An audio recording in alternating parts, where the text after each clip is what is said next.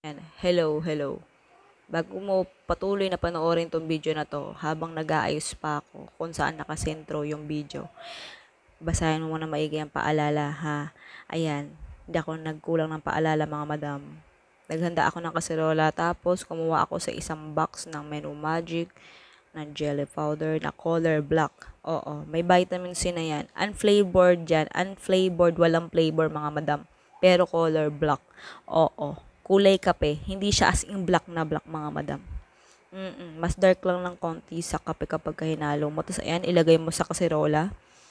Ayan. Tapos, sunod, maglagay ka ng 3-in-1 na kape. Sa, sa kape naman, kahit anong brand pwede. Hindi naman kita pipigilan kung anong gusto mong brand. Kung saan ka mas makakamura, kung anong gusto mong makakatipid ka, yun ang ilagay mo. Yun ang gamitin mo. Tapos, maglagay ka ng tubig. Kailangan maraming tubig mga madam. Pero kung gusto mong malaman kung gaano karami nilagay ko, panoorin mo hanggang dulo. Oo, nasa dulo. Kasi syempre, di ko pwede ilagay agad sa unahan kasi nagisimula pa lang tayo.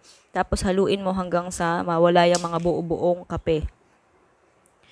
Yan. Tapos pagka na, natunaw na yung mga buo-buong kape, ayan, isa lang muna sa kalan na nakabukas na yung apoy. Oo. Syempre, binuksan ko na yan bago ko i- open yung camera. Ayan, haluin mo lang siya. Lutuin mo yan sa loob ng halos limang minuto lang. Mm-mm. Hindi mo kailangan pakuluin. Ayan, kapag ka nakita mo medyo may bula-bula ng puti-puti, ayan, pwede na yan. Hindi mo na kailangan intayin kumulo. Tapos, isalin mo na siya sa 3.5 ounce na cup. Ayan. Pwedeng itabi mo muna saglit yun, yung jelly, coffee jelly natin. Tapos, ihanda mo yung 3.5 ounce na microwavable container. Oo, microwavable container yung gamitin mo para kahit mainit pa yung jelly, eh pwede mo nang isalin. Oo, ang, ang ibig sabihin ng microwavable, ibig sabihin ginawa siya para sa mainit na pagkain. Pero may limit yung init niyan nung kaya ng microwavable container na yan. Ayan, pero carry naman yung init ng jelly natin dahil hindi naman siya bagong kulo, mga madam. Hmm, Tapos isalin mo na, ayan. Sa bawat cup, meron niyang one-third cup. Wah, ano, almost, almost lang nga, almost one-third cup. Oo. Tapos, ayan, hintayin mo yung lumamig. Siyempre, kapag lumamig, mamumuo yun. Tapos, maglagay ka ng harina sa isang kaserola ulit. Ayan. Tapos, maglagay ka rin ng Menu Magic na jelly powder, unflavored ulit, walang flavor. Tapos, cleared yung kulay o white. Ayan. Mm-mm, yun ang kailangan natin. Tapos, ayan, ilagay mo sa kaserola. Isang sachet lang din yung kailangan natin, mga madam, sa recipe na to. Ayan. Kung gusto mong malaman kung saan nakakabili niyan, ilalagay ko sa description box. Nandoon yung link niya kung saan nakabibili. Mm-mm. Pati yung unflavored na black jelly powder. Tapos, maglagay ka ng 1 cup ng tubig. Oo, 1 cup. Ayan. Tapos, unti-unti lang ang lagay. Kailangan wag mong bibiglain yung paglagay niyan, mga madam. Kasi kapag binigla mo, mamumuo yan ng sobra yung harina. Kaya, at saka yung jelly powder. Kaya kailangan unti-unti ang lagay. Ayan. Wag mong ilalagay lahat ng tubig. Kailangan haluin mo siyang maigi. Yung parang malapot siya na. Oo, pag kailangan malapot yung texture niya. Tapos kailangan, bago mo ilagay yung buo o yung lahat ng dami ng tubig, kailangan tunaw na tunaw na yung harina. Tapos kapag nailagay mo na lahat ng tubig, tsaka mo ilagay yung isang lata ng condense. Ayan ang ingay ng anak ko mga madam. Ayan. Alam nyo naman, kahit sa live selling, maingay yan mga madam. yan talaga bata. Ayan mga madam. Pagka nailagay mo na yung isang buo ng lata ng condensed milk, maglagay ka naman ng evaporated milk sa lata ng condensed. Oo. Tapos haluin mo. Siyempre, ganyan ang mga nanay mga madam. Kailangan natin magtipid. Sayang yan yung matitira, di ba? Huwag kang ano dyan, huwag kang magpanggap. Alam ko, ginagawa mo rin to sa kusina mo. Hmm. Ayan. Halo-halo. Gusto mo bang mag, mag ano tayo, mag shout out?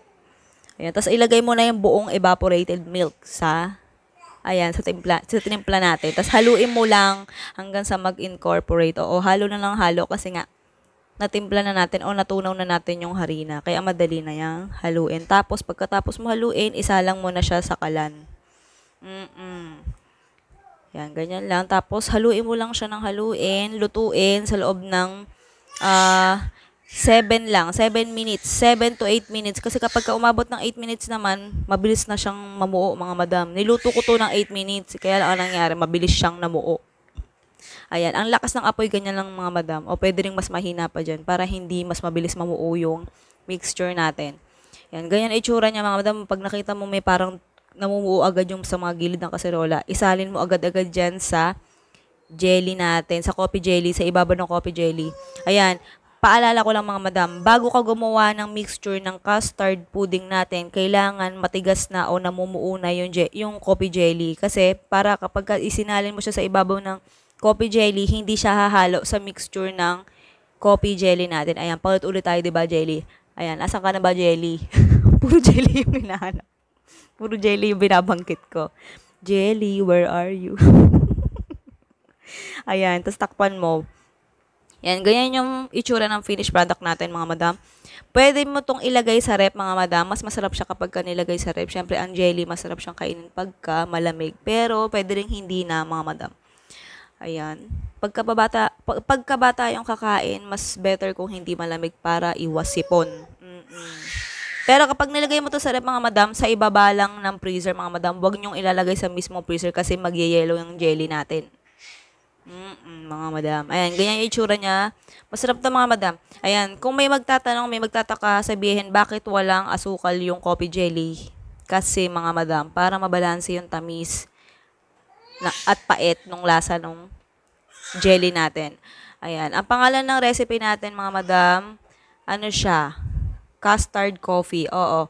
Layer siya, layered siya ng custard pudding tapos sa ilalim coffee jelly. Kaya custard jelly, eh custard jelly. Kaya custard coffee ang pangalan niyan. Oo, narinig ba yung anak ko? Kulang na lang sabihin niya siya na lang mag-voice over dito, eh, no?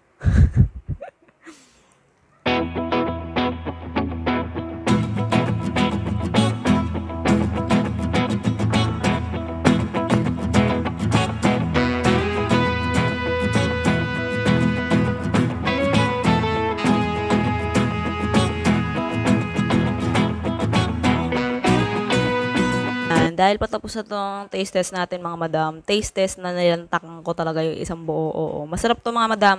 Tamang-tama lang sa mga hindi mahilig ng sobrang tamis na pagkain na dessert. Ito, saktong-sakto to dahil nagtatalo yung pait at tamis. Kumbaga nababalanse dahil nga hindi matamis yung ilalim tapos yung matamis matamis. Ay, yung matamis matamis. Yung ibabaw matamis. Oo, yung custard natin.